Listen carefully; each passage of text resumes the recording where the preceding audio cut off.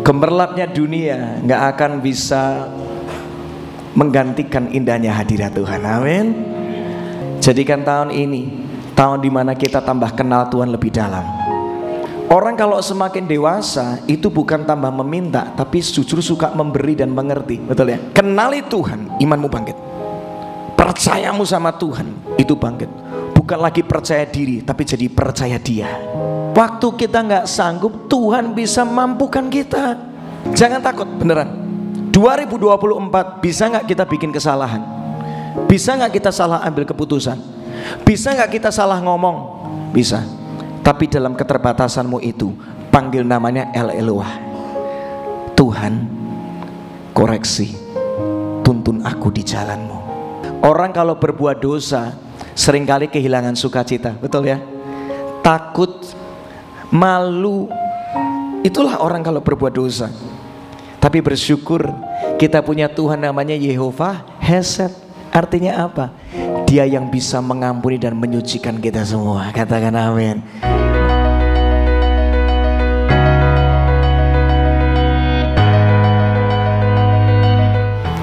Bertahtalah dalam hidup kami. Karena kalau Tuhan bertahta,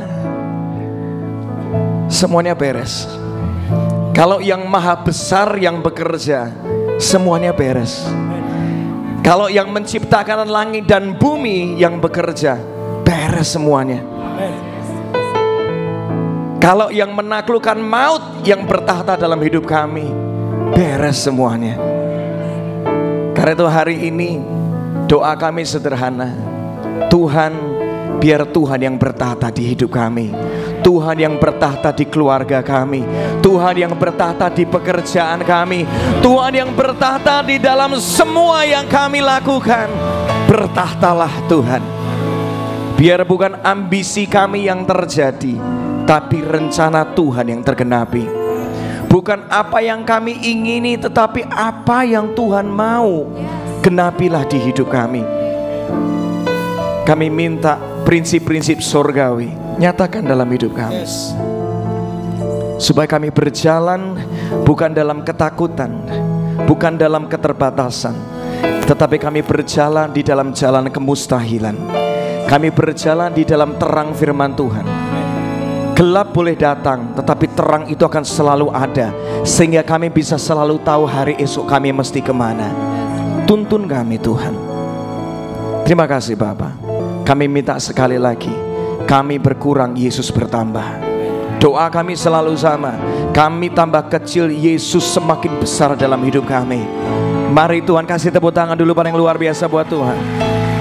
Berkaryalah Tuhan. Terima kasih kami serahkan pemberitaan firman-Mu Berbicaralah dengan tajam dalam hidup kami Hancurkan pondasi yang salah Gantikan dengan yang benar yang dari firman-Mu Kami terima kebenaran-Mu yang menghidupkan Di dalam nama Yesus Katakan sama-sama ah, Kasih tepuk tangan yang luar biasa buat Tuhan kita Silahkan duduk kembali Silahkan duduk kembali Wow Rasanya nggak pengen berhenti menyembah ya. Karena memang kita itu diciptakan untuk nyembah. Untuk nempel melekat sama Tuhan. Ranting diciptakan untuk nempel sama pohonnya. Lampu diciptakan untuk nempel sama listriknya. Sehingga bisa berbuah, sehingga bisa hidup. Sehingga lampu berfungsi menjadi terang. Karena nempel sama listriknya sama sumbernya. Demikian juga dengan manusia. Kalau kita nempel sama Tuhan, momen seperti ini rasanya nggak nggak pengen segera berlalu, ya. Karena memang untuk itulah kita tuh ada beneran, ya. Wow, gemerlapnya dunia nggak akan bisa menggantikan indahnya hadirat Tuhan. Amin. Orang tuh cuma bisa puas kalau dia tuh tinggal di hadirat Tuhan. Rumah boleh masih ngontrak tetapi selama rumah itu penuh dengan damainya Tuhan, hadiratnya Tuhan. Kita bisa tetap puas dan tetap bersyukur dalam segala keadaan. Amin. Ada orang kaya sudah minta ampun. Tapi karena dia nggak berjalan bersama dengan Tuhan selalu merasa kurang. Kurang ini, kurang itu. Karena sumber kepuasan itu cuma ada di dalam Yesus, katakan amin. Dialah air kehidupan yang menyegarkan, yang menghidupkan kita. Dialah roti yang bisa membuat kita menjadi kenyang, nggak ada di tempat yang lain. Makanya 2024 jadikan tahun ini tahun di mana kita tambah kenal Tuhan lebih dalam. Lebih dari 2023 katakan amin. Lebih mengingini Yesus lebih dari semua berkatnya katakan amin. Lebih cinta Yesus melebihi kita cinta berkatnya katakan amin. Itu namanya kita semakin berkurang, Yesus semakin bertambah. Orang kalau semakin dewasa itu bukan tambah meminta, tapi justru suka memberi dan mengerti, betul ya? Itulah ciri-ciri orang dewasa. 2024 saya berdoa jemaat GSJS di tempat ini tambah dewasa dalam Kristus. Amin. Semakin ngerti hatinya Tuhan, bukan minta terus, bukan maksa terus. Anak selalu nodong, tapi orang dewasa selalu berusaha untuk mengerti dan memberi. Itulah. Tangkap ini. Kita mau belajar ngerti terus hatinya Tuhan. Amin. Nah, di jam sore ini um, saya akan berbagi tentang pondasi kehidupan yaitu namanya iman. Ini penting. Memasuki 2024 jangan sampai pondasi kita berantakan karena pondasi itu kesannya nggak terlihat tetapi menentukan kekuatan dan kekokohan dan ketinggian sebuah bangunan. Betul ya? Pondasi 5 lantai sama pondasi 30 lantai pondasinya berbeda setuju? Di sini ada Pak Beni kontraktor. Beda ya Pak Beni ya? Betul ya? Kalau bangun pondasi buat tiga lantai kedalamannya beda nggak dengan yang membangun 30 lantai beda Proses bangun pondasinya lebih lama yang mana Pak Beni? Yang 30 lantai lebih lama, biayanya akan lebih mahal.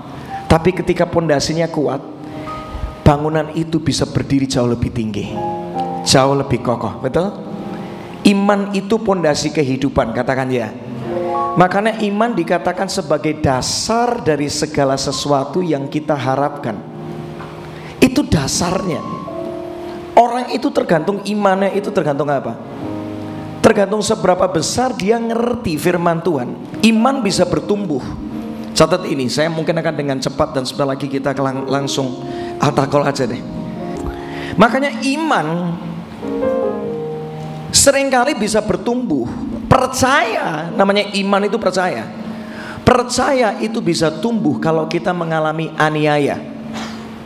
Orang kalau lagi sakit, tiba-tiba muncul iman, sakitku bisa Tuhan sembuhkan. Katakan amin.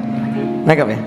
Kalau pintu jalanmu ke depan tertutup, maka kita akan punya iman bahwa suatu kali akan terbuka. Setuju? Penganiayaan membuat kita iman kita tuh jadi naik. Katakan amin. Makanya jangan ngomel dulu kalau kena masalah. Karena justru gara-gara masalah, imanmu, kepercayaanmu sama Tuhan sedang di level up. Kasih tepuk tangan dulu buat Tuhan.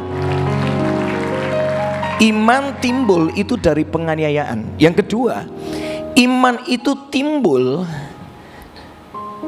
dari pembacaan firman Tuhan. Kita menuliskan. Ya. Slide-nya bisa ditampilkan aja deh, itu ada di bagian terakhir. Saya rada loncat. Iman itu timbul gara-gara kita baca firman. Anda bisa percaya sama orang, Anda pasti harus cari dulu reputasi orang tersebut. Setuju nggak? Saya mau bangun rumah, saya ngecek dulu. Eh di sini ada bisa bangun rumah, katanya denger-dengar namanya Pak Beni. Nah, saya pakai contoh hari ini kebetulan Pak Beni lagi banyak temenin saya hari ini pelayanan. Dia seorang kontraktor. Tapi untuk saya bisa percaya sama seorang Pak Beni, saya mesti cek reputasinya dulu, betul nggak? Nggak mungkin gitu. Eh ada orang nih namanya Beni kontraktor, yaudah sama itu aja, nggak mungkin. Kita akan cek, ini orang pernah bangun apa? Ya, ini orang portfolionya mana? Aku tuh mau bangunnya apartemen. Jangan-jangan dia cuma bangunnya rumah ukurannya kecil, nggak bisa levelnya berbeda, betul nggak? Kita mau percaya sama orang harus cek and recheck reputasinya, setuju? Anda nggak bisa langsung percaya sama orang. Anda mau tahu reputasinya Tuhan yang membuatmu bisa percaya sama Tuhan. Semuanya ada di firman Tuhan. Kalau engkau nggak baca firman, level imanmu nggak akan pernah bertumbuh. Tangkap ini. Level iman itu cuma bertumbuh kalau kita itu kenal rekam jejak seseorang. Katakan ya. Nah, Alkitab itu menuliskan begitu banyak hal tentang nama Tuhan. Kita baca satu-satu ya. Tuhan itu memperkenalkan dirinya sebagai Elohim. Semua katakan Elohim. Itu Tuhan yang maha besar. Artinya apa? Kalau engkau merasa kecil, engkau merasa nggak sanggup, ingat Tuhanmu itu maha besar. Dia bisa mengubahkan yang kecil jadi besar, yang tidak berarti bisa menjadi berarti. Kasih tepuk tangan dulu buat Tuhan. Kenali rekam jejaknya Tuhan, sebab Dia yang membuat Gideon yang ketakutan menjadi pahlawan yang gagah perkasa. Bukan karena Gideon hebat, tapi karena dia menyembah Tuhan yang hebat. Elohim, Tuhan Maha Besar. Ketika engkau kenal Tuhan Maha Besar, kenapa kita mesti takut?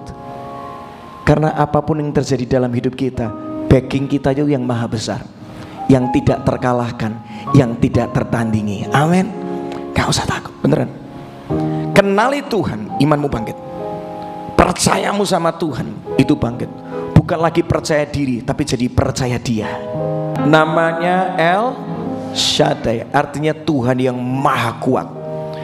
Waktu engkau nggak kuat, Tuhan bisa kuatkan. Katakan amin. Waktu kita nggak sanggup, Tuhan bisa mampukan kita. Imanmu bangkit karena kenal siapa Tuhan. Baca firman makanya katakan amin.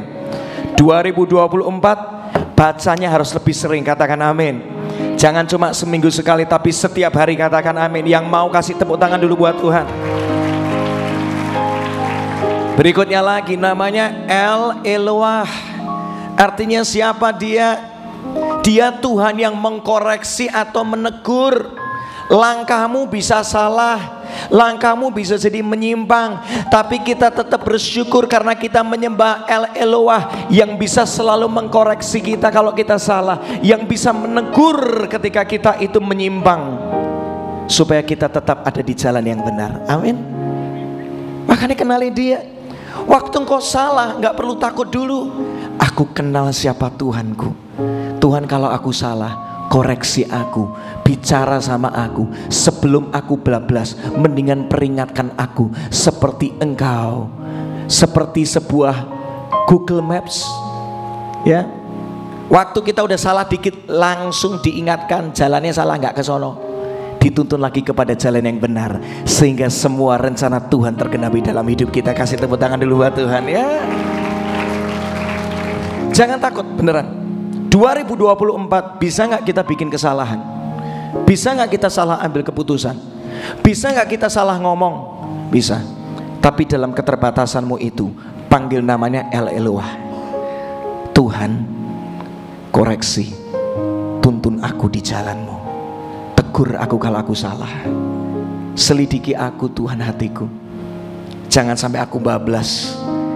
Jangan sampai aku salah berlarut-larut Nanti aku kehilangan rencanamu Nggak enak keluar dari rencana Tuhan Karena rencananya selalu yang terbaik Lebih dari apa pun yang kita impikan Amin Namanya berikutnya adalah Yehova siapa? Hesed Artinya dia Tuhan yang me Dia mengampuni Dosamu bisa merah seperti kirmisi. Begitu merah rasanya nggak bisa diampuni. Tapi ingat Tuhanmu itu Tuhan yang mengampuni. Tuhanmu itu bisa mengampuni dosamu dan menenangkan kembali hidupmu. Sehingga nggak lagi dikuasai intimidasi tapi dikuasai damai sejahtera dari Tuhan. Amin.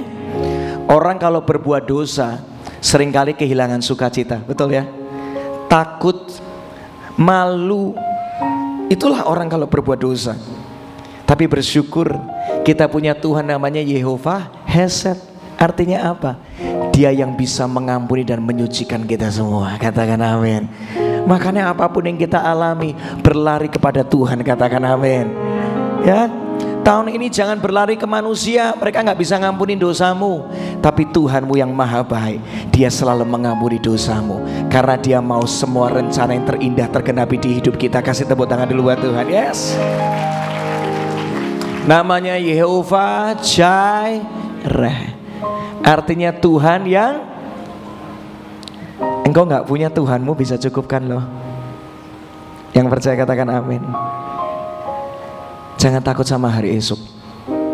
Kita tuh punya Tuhan yang selalu bisa mencukupkan dengan caranya yang nggak masuk akal. Makanya hari ini imanmu bangkit lagi katakan amin.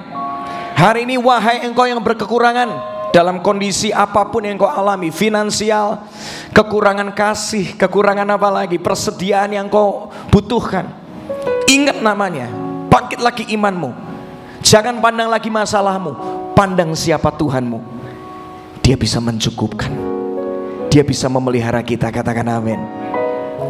Saya kadang-kadang waktu ingat kalau ingat lagi ketika saya pindah ke Jakarta. Tiap kali ketakutan setengah mati. Tapi sampai satu persatu Tuhan mulai memperkenalkan dirinya. Aku Tuhan yang bisa cukupkan kamu. Aku Tuhan yang bisa menyediakan yang kamu perlukan. Tuhan ampuni aku sering kali lupa, sering kali aku takut. Hari ini tepat 2024 tepat 10 tahun saya pindah ke Jakarta. Dan sampai hari ini Tuhan cukupkan semua yang saya butuhkan. Saya nggak berkekurangan. Tuhan itu limpahkan yang kita perlukan. Kasih tepuk tangan yang luar biasa. Lihat. Aku punya Tuhan yang mencukupkan. Istri anakku nggak berkekurangan. Bahkan mereka berkelimpahan. Kami bisa jadi berkat bagi banyak orang. Tuhan itu dan kita menyembah Tuhan yang sama katakan amin Tuhan yang sama bisa melakukan dalam diri saya. Tuhan saya bisa melakukan di dalam kehidupan kita semua yang percaya kasih tepuk tangan dulu buat Tuhan. Bangkit hari ini 2024 Jangan lagi punya iman kerumunan kalau lagi rame, lagi panas imannya. Tapi justru iman yang sejati adalah ketika itu namanya iman personal. Saul itu imannya rame-rame. Kalau lagi ngumpul sama yang lain lagi panas, tapi kalau lagi sendirian ketakutan, beda sama imannya Daud. Ketika seluruh orang Israel itu ketakutan. Tangkap ini. Ketika seluruh orang Israel ketakutan, Raja Saul juga gemetar. Orang-orang perkasa di Israel ketakutan semua. Ketika mereka mau melawan Goliat. Tapi ada satu orang yang tidak diperhitungkan. Namanya Daud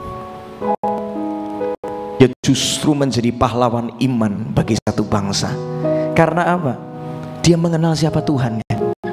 Tuhanku itu yang membantu aku untuk bisa mengalahkan singa dan beruang.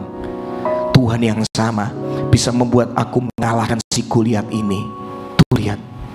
Karena dia ngalamin Tuhan. Gak kaget.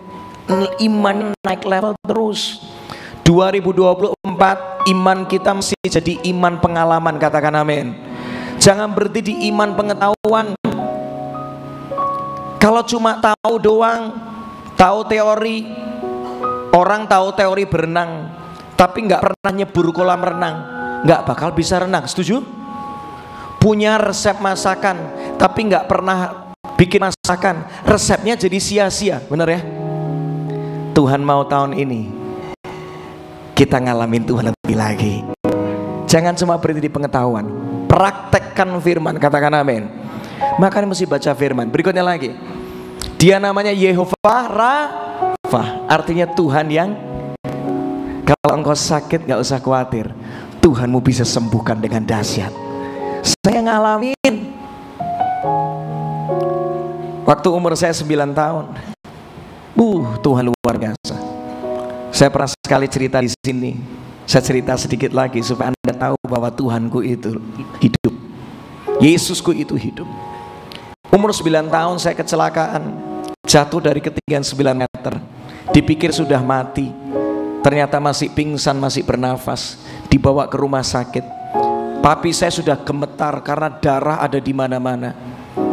Dia takut anaknya ngalamin satu kejadian yang parah karena itu uh, jatuh dari ketinggian 6 meter. Jatuhnya itu mundur dari atap rumah. Mulut terbentur waktu jatuh itu mulut terbentur oleh uh, sumur tua. Karena itu rumah lama masih ada sumur tuanya di sana. Darah di mana-mana. Saya lagi sadar sebentar tiba-tiba papi saya cuma ngomong kayak gini ikutin papi nyembah Tuhan sebagai seorang anak cuma bisa nurut sama orang tuanya mulut penuh dengan darah Orang tua ngajak nyembah, ini tindakan yang gila, betul kan? Tapi papi saya tahu Allahku namanya Yehova Rafa. Ketika kita meninggikannya, ketika kita menaruh pengharapan kepada Dia, apa yang tidak mungkin bagi manusia, Tuhan masih bisa kerjakan buat kita. Kasih tepuk tangan dulu buat Tuhan. Saya mulai ikutan papi saya. Nyanyi lagu, main DJ sekarang. Kami naikkan syukur padamu. Nah waktu itu karena penuh dengan pendarahan, nggak bisa nyanyi bagus, nyanyinya kayak monyet. Ami a a u u a a u beneran. Nggak ada sesuatu yang spesial secara kemasan. Tapi ternyata Tuhan itu selalu melihat kedalaman hati kita. Kepercayaan kita sama Tuhan itu yang diperhitungkan. Mungkin nyanyimu fales, nggak apa-apa.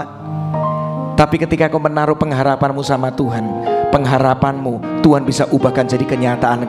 Kasih tepuk tangan dulu buat Tuhan. Akhirnya saya ikutan papi saya nyembah Tuhan nyanyi nyanyi. Seketika saya nyanyi, pendarahan tiba-tiba berhenti. Mujizat pertama terjadi. Sampai di rumah sakit, mesti apa? Mesti dijahit gusinya. Karena luka sekitar 3 cm. Di sini ada dokter gigi. Itu luka 3 cm di gusi. Dokter ngomong di UGD, baru besok bisa dioperasi. Karena apa? Dokter bedahnya baru ada besok, nggak bisa hari ini. Ketika saya mulai masuk ke kamar, papi saya tutup pintu gorden, itu kamar rumah sakit. Anaknya nggak boleh tidur, diajak nyanyi nyembah Tuhan lagi, bayangin. Ini tindakan yang gak masuk akal. Tapi dia tahu papi saya tahu Tuhanku tuh Yehova Rafa manusia gak bisa sembuhkan. Yesus bisa sembuhkan. Katakan amin. Kasih tepuk tangan boleh buat Tuhan saya merasakan ada di tempat ini lagi ngalami penyakit. Panggil namanya Yehova Rafa. Dia bisa sembuhkan ya. Paginya dibawa ke ruang operasi. Dibuka mulut. Dokternya kaget. Ini anak siapa yang sudah bikin operasi? Kenapa dokter? Lukanya sudah nggak ada. Tuhan Yesus sembuhkan dengan supranatural. Kasih tepuk tangan dulu buat Tuhan. Tuh lihat mujizat kedua terjadi nggak masuk akal. Tangan saya dicek patah. Mesti apa? Di gips. Dokter ngomongnya enam bulan. Papi saya doa ngotot Yehova Rafa ngomongnya cuma dua minggu bayangin. Dokter aja dilawan. Enam bulan ngomongnya cuma dua minggu.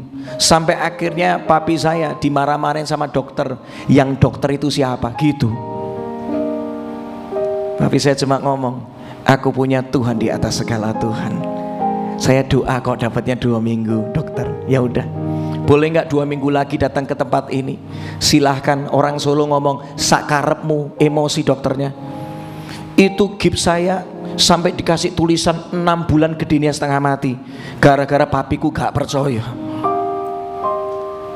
Pulang ke rumah, papi saya cuma ngomong kayak gini. Mulai hari ini, kamu punya Tuhan Yehova Rafa. Dia bisa sembuhkan. Diajak nyembah, diajak nyembah. Supranatural mulai terjadi Ki, percaya. Kamu mesti ngalamin Tuhan dari waktu kamu kecil. Udah. Dua minggu setelah itu diajak lagi ke rumah sakit. Ronsen lagi. Ketika ronsen hasilnya dibawa ke dokter. Dokternya kaget.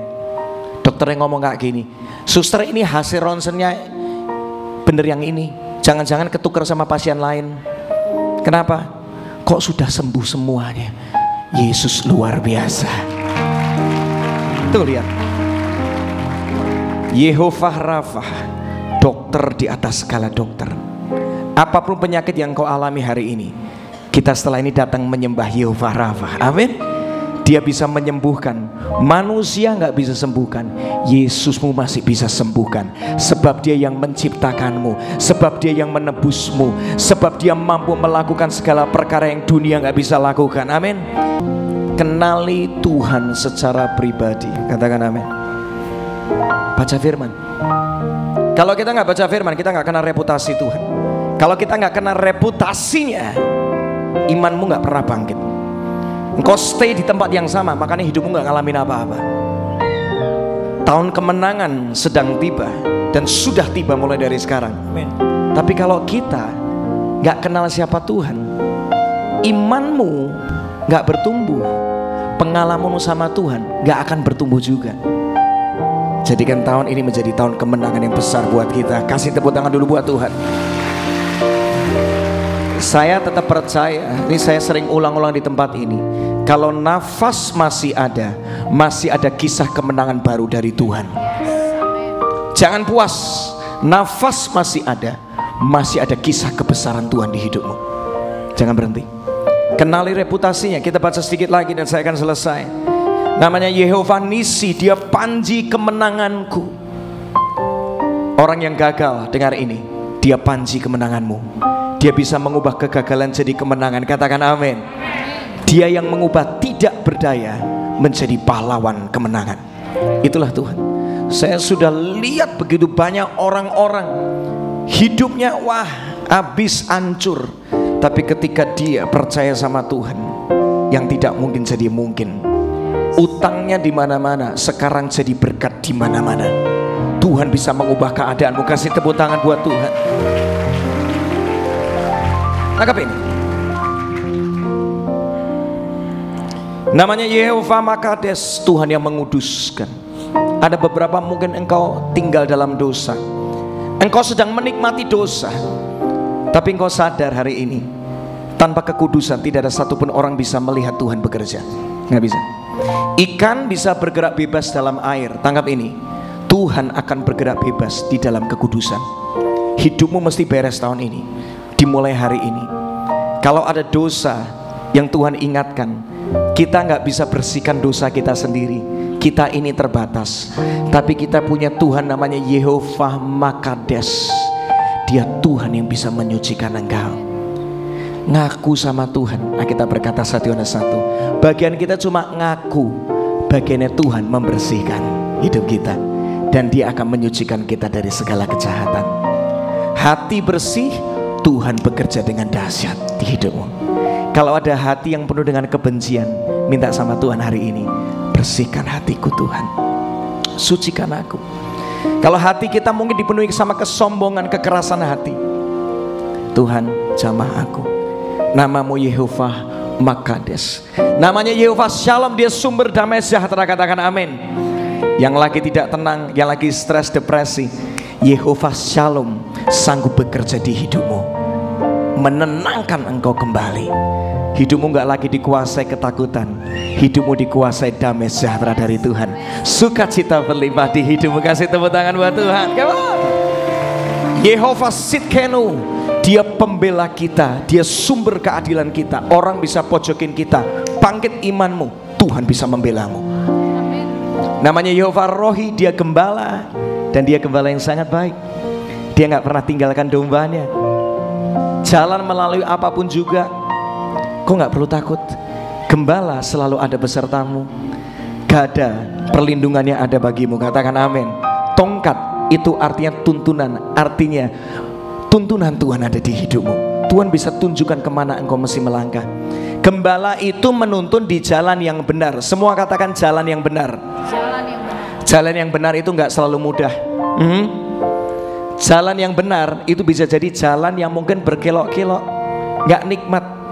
Tapi kalau Tuhan yang menuntun, setidak-tidak nikmatnya pun itu akan menuntun engkau kepada kebaikan Tuhan, kepada kemenangan yang besar di hidupmu. Kasih tepuk tangan buat Tuhan. Makanya gini, iman yang benar itu bukan ngatur Tuhan, tapi mau diatur sama Tuhan. Saya mau tanya, Indomie goreng masaknya di rebus. Mulai nggak kompak di sini. Ada dua kubu. Kalau anda bikin Indomie goreng, masaknya direbus apa digoreng? Lucu ya. Mie goreng harusnya di kok direbus. Coba Indomie goreng pulang dari sini, semua langsung kebayang dua bungkus dikasih telur ceplok. Oh haleluya. sambil nonton sinetron. Oh, haleluya.